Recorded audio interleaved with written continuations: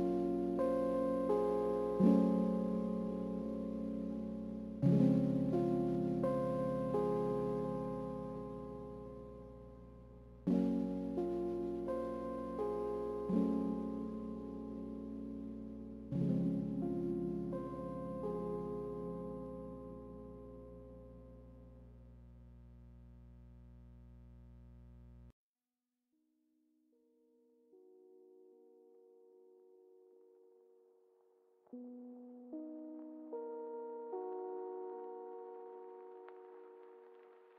you.